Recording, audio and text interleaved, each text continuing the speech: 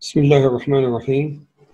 آه، اليوم إن شاء الله بدنا نتكلم عن ال kinematics of particles اللي هو أول chapter في آه، الديناميكا والموضوع اللي المواضيع اللي رحنا راح نغطيها إن شاء الله في هذا ال chapter هي بتتعلق في آه، بدرجة كبيرة بهذه ال list المواضيع نتكلم عن rectilinear motion.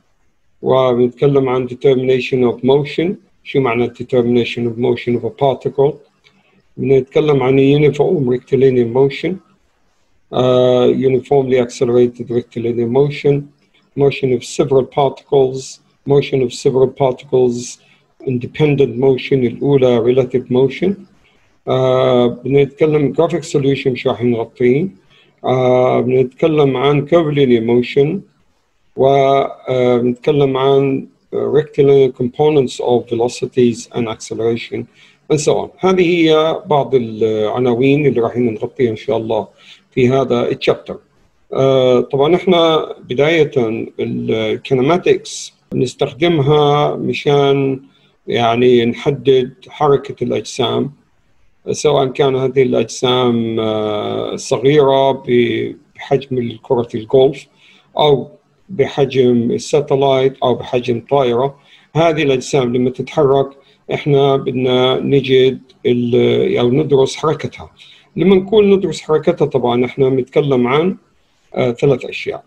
نتحدث عن ال position أو ال displacement الإزاحة يعني. نتكلم عن ال velocity وبنتكلم عن ال acceleration دراسة الديناميكا بتنقسم إلى قسمين. القسم الأول اسمه kinematics اللي هو موضوعنا اليوم.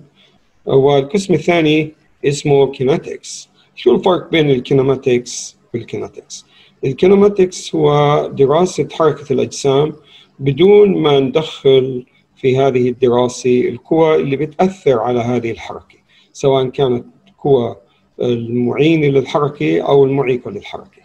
بينما ال kinetics وهو الجزء الثاني إن شاء الله راح ندرسه في بقية هذا الفصل هي دراسة حركة الأجسام وبناخذ بعين الاعتبار القوى اللي بتأثر على هذه الحركة سواء كانت هذه القوى معيقة أو معينة للحركة. الثنتين يعني راح ناخذهم بعين الاعتبار. هذا هو الفرق بين ال kinematics وال kinetics لاحظ لو أنا ما حطيت هذه القوى هون على القوى اللي في الأسهم هذه بس درست حركة الطائرة بمعنى لو درست بدي أشوف قديش ال velocity وال acceleration وال position بتكلم عن عن ال kinematics لو حطيت القوى وشفت قديش أثر القوى على هذه الحركة فانا بتكلم عن ال kinetics طيب الآن إحنا طبعا أسهل حركة بنقدر نبدأ فيها هي حركة الأجسام اللي بتتحرك حركة مستقيمة. مش معنى ذلك الحركة المستقيمة هي الحركة اللي بتكون على طول الاكس اكسس ولكن يمكن تكون على طول ال y axis أو على طول خط الزاد اكسس أو على خط بينهم يعني يمكن يكون الخط بين هؤلاء.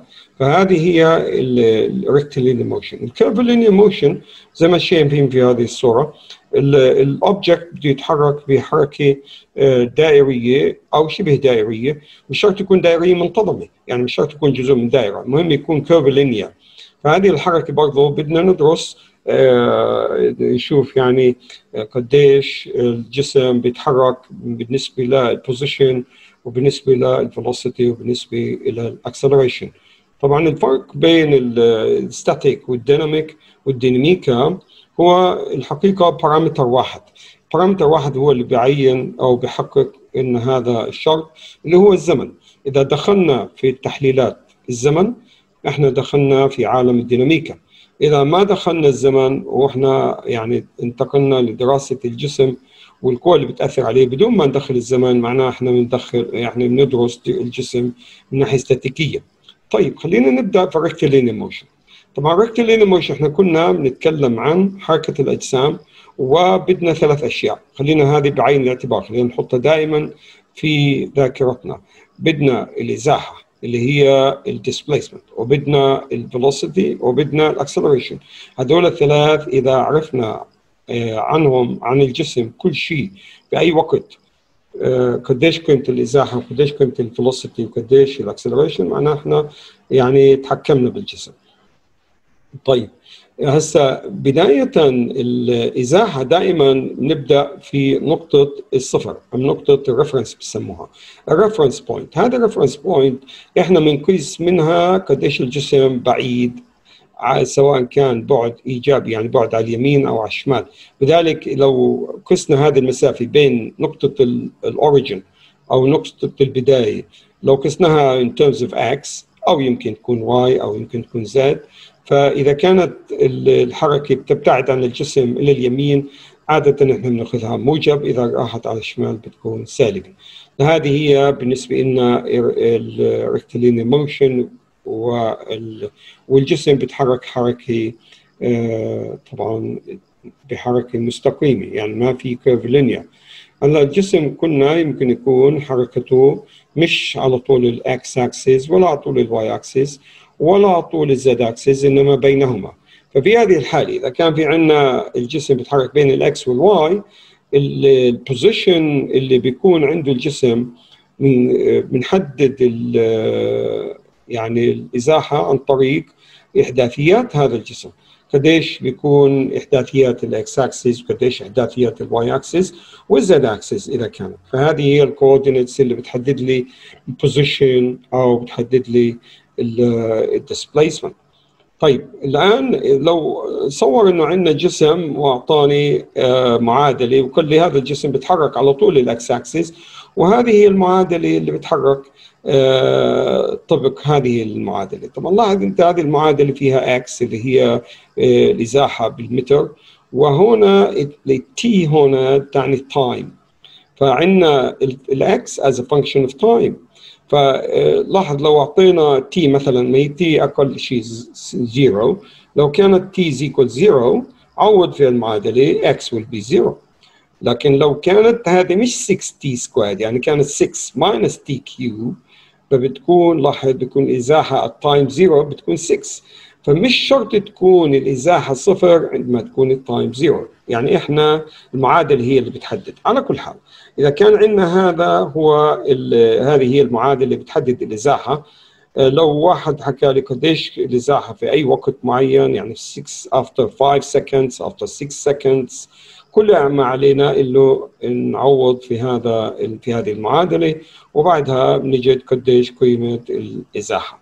طيب likewise uh, لو أنه بدنا نشوف uh, يعني على مدى معين من الزمن يعني من صفر لست ثواني كيف حركة الجسم؟ فبنعمل الحقيقة بنأخذ عدة نقاط على على ال time scale وبنشوف مقابل كل نقطة عند اثنين ثاني وين الإزاحة بتكون؟ عند الاربع ثاني قديش الازاحه عند السكس وناخذ نقاط كثيرة يعني. بعدها بنقدر حتى نرسم خط يمثل الإزاحة مع الزمن تغير الإزاحة مع الزمن أو تغير قديش بعد الجسم عن نقطة الأصل مع الزمن. فلاحظ هذا ال curve هو يمثل الإزاحة. مش معنى ذلك إنه الجسم بيمشي بحركة آه، دائرية. هذا ال curve ما بيمثل اتجاه الجسم أو حركة يعني ال profile تبع حركة الجسم إنه بيمثل التغير الإزاحة مع الزمن. طيب هلا لو كان واحد يقول لي طيب أنا بدي اجد ال velocity ال velocity آه، عادة في مثل هذه الأمثلة إحنا آه، عادة نستطيع نبدأ. يعني إحنا ما بدنا إياك يعني مش مطلوب منا نشتق العلاقة بين ال velocity وبين ال displacement بإمكاننا نروح مباشرة على ال velocity أو ال displacement profile وال function displacement ونعمل تفاضل تجد نجد عنده مباشرة نجد ال velocity فال v is equal dx على dt is equal 12t minus 3t squared. لاحظ نفس الشيء هذه ال function اللي بتعطيني ال velocity function of time برضه عند أي وقت معين بقدر أنا أجد قديش ال velocity آه و likewise لو بدنا نشوف ال velocity مثلا تغير ال velocity لهذا الجسم من مثلا من صفر لخمس ثواني نبدأ أو ست ثواني بنبدأ بنأخذ آه، يعني بنعمل جدول وبنشوف قديش الجسم لما يكون عنده 0 seconds قديش ال velocity لما يكون 2 seconds 3 second 4 second نأخذ عدة نقاط وبعدين بنرسم هذا ال profile اللي بيعطيني مباشرة لاحظ قديش سهل إنه نقرأ هذا ال profile بنشوف كيف الجسم سرعته بتتغير مع الزمن. على فكرة كل هذا اللي ظاهر أمامنا بالصفحة هذه آه، بالنسبة للاشتقاق مش مطلوب منا إنما مطلوب منا كيف نستخدم المعادلة تبعت ال displacement مشان نجد ال velocity وكمان الكلام هذا بنقدر نقوله عن ال acceleration. هذا كله الجزء الأول من هذه ال slide. هذا عبارة عن اشتقاق مش مطلوب منك. مطلوب منك إنك تعرف إنه ال acceleration هي اشتقاق اول لل velocity أو اشتقاق ثاني لل displacement فهذا هي ال velocity هذه ال acceleration. إذا كان عندنا هذه ال velocity uh, is equal 12t minus 3t squared ال acceleration dv على dt is equal 12 minus 6t كمان نفس الشيء لاحظ هذه المعادلة في أي وقت بقدر أجد قديش قيمة ال acceleration لهذا الجسم.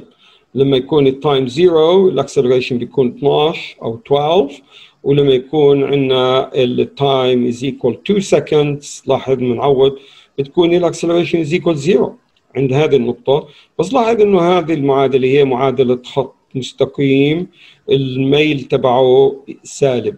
فبيجي عند هذا الخط. إحنا بإمكاننا على فكرة انه نحط كل هذه الخطوط مع بعض. على كل حال هسا في سؤال آه، يمكن نطرح حاله يمكن نطرح سؤال عام يعني للتفكير. إنه what is true about the kinematics of particles يعني حركة آه، هذه الجزيئات. Is it the velocity of the particle is always positive? هل فعلا ال velocity is always positive لو نتذكر ال profile تبع ال velocity هل كان كل دائما positive طبعا هذا غير صحيح لأنه كان ال profile يعني صح كان في جزء منه positive بس بعدين بصير negative بصير zero هل ال velocity of the particle is equal to the slope of the position time graph طبعا هذا أعتقد هو الجواب الصحيح لأنه فعلا لو نروح على ال position time graph وعند أي نقطة نقدر بدنا نحدد ال velocity بنقدر نجد الميل لل tangent أو الميل لخط التماس عند هذه النقطة. خط التماس هذا لو نرسمه ونجد الميل له هو بيعطينا ال velocity طبعا ال C وال D مش صحيح if the position of the particle is zero then the velocity must be zero. هذا مش صحيح. ودي كمان مش صحيح. If the velocity of the particle is zero then the acceleration must be zero. وشفنا هسه إنه هذا الكلام مش صحيح من السلايد اللي سبق. زي ما قلنا الجواب هو B آه طبعا زي ما قلنا في السؤال السابق لاحظ هذه طبعا هذه ال profiles تعطيني الحقيقة summation أو summary لحركة الجسم من time 0 ل time 6 seconds. تعطيني ال displacement تعطيني ال velocity بتعطيني ال acceleration وجيد إذا أنت مر عليك سؤال زي هيك إنك تضع يعني الثلاث آه، الثلاث خطوط بيانية أو الثلاث three curves تحطهم على نفس ال time scale يعني لاحظ ال time scale هذا بنقدر إحنا نرسم خط عمودي من آه، مثلا على 2 seconds وننزله على طول 2 seconds هذا 2 second للجميع. وهذا 4 seconds وهذا 6 seconds مشان نشوف at any time شو الجسم بيعمل وقديش بعده عن نقطة الأصل وقديش ال acceleration وقديش ال velocity. فهذا هو الحقيقة يعني هذه ال summary summary لكل النتائج اللي إحنا حصلناها هسه طبعا في عندنا آه اللي إحنا رايحين يعني نشوفه في هذا البرنامج إنه عندنا آه، أسئلة آه، ما بيعطيني ال function لل displacement آه، شو بيعطيني؟ بدل هذا بيعطيني function بتمثل لي ال acceleration. وال acceleration الحقيقة دائما هي اللي يعني بتظهر في الأسئلة الأكثر عملية لأنه دائما القياسات في في الميدان ما بتكون القياسات آه، عن طريق ال displacement هذا أنت إذا إحنا أنا وياك وغيرنا إذا كان معنا tape measure وبنقدر نوقف ال tape measure ونقيس بالمسطرة نقيس من مكان لمكان لكن هذا مش عملي. لو أنا بدي أقيس قديش سرعة السيارة اللي جاي ماشي في الطريق أو البوليس بده يقيس قديش سرعة السيارة. ما بيروح بيقيس قديش المسافة وبيقيس قديش السرعة على أساس إنه المسافة وقديش بتقرب عليه.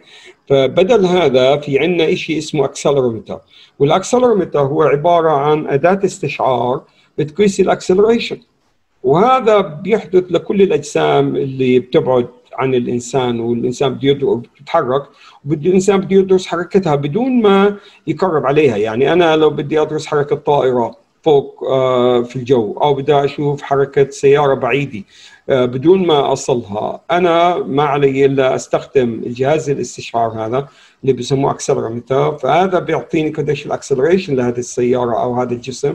ومن هذه ال acceleration أنا بستطيع أحسب ال velocity وبقدر أحسب البعد عن في ذاك الوقت قديش بيكون بعدها. فال acceleration هي الحقيقة ال parameter اللي ممكن إحنا نشوفه في كثير من الحالات.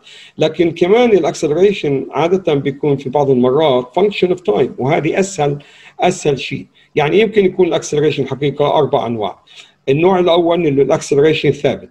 مثل إيش؟ مثل مثلا الأجسام اللي بتسقط سقوط حر. قديش ال acceleration؟ إحنا بنعرف الجسم إذا سقط بيكون ال acceleration حسب القانون الجاذبية 9.81 اللي هي آه، قيمة الجاذبية قيمة جي هذا ثابت ما بيعتمد على الزمن. هذا نوع. والنوع الثاني من ال acceleration إنه بيكون function of time زي ما شفنا هسه قبل شوي إنه ال acceleration كان معطيني إياه 12 minus 6 times t. هذا function of time. آه كمان بيجي عندي ال acceleration بعض المرات بيكون function of displacement. يعني آه بيعتمد ال acceleration على ال displacement للجسم. وفي بعض الحالات بيكون ال acceleration function of velocity.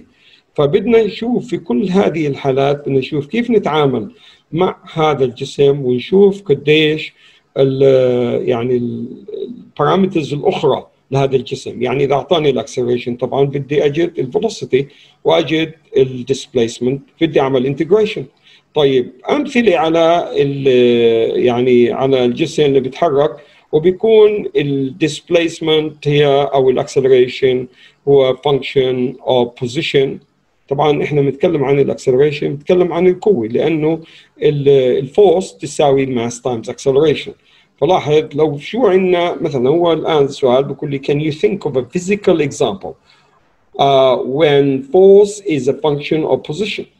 الجواب على ذلك الزنبرك على الزنبرك كل ما شديته يعني كل ما عملت ال displacement كل ما زادت كل ما كانت القوة الشد أكبر. هذه واحدة. طيب مثال آخر. When the force is a function of velocity اللي هي عندي لما يكون عندي الدراج. الدراج اللي هو الاحتكاك. الاحتكاك إحنا زي ما كنا بنعرف إنه الاحتكاك بيعتمد على السرعة. كل ما زادت السرعة كل ما زاد الاحتكاك. على كل حال لهذه عند هذه النقطة راح نتوقف. المادة العلمية لهذا الجزء من هذا الشابتر انتهت. الباقي علينا إن شاء الله إنه نبدأ محاضرة آه، محاضرة الفترة القادمة إن شاء الله. بنستهلها بحل أمثلة مباشرة على المادة اللي شرحناها قبل شوي. يعني لاحظ إنه المادة مش كبيرة والمادة من ناحية علمية يعني خلينا نقول مستواها مش عالي كثير. لكن شو اللي مهم فيه هون؟ التطبيق. إحنا بدنا نشوف أمثلة عملية ونطبق آه، عليها القوانين البسيطة اللي مرت علينا وإن شاء الله بنجدها سهلة واستودعكم الله والسلام عليكم ورحمة الله وبركاته.